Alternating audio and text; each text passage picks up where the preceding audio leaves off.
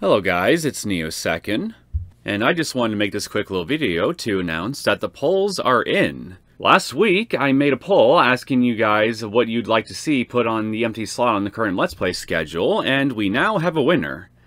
And that winner is G Senyu no Mao. Uh, Mao? I have no idea if I even said any of that right at all, even a single syllable.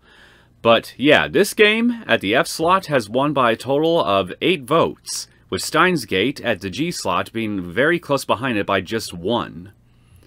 So, I'm going to update the uh, Let's Play schedule, and uh, this game is going to uh, be on there, and eventually I will get around to playing it.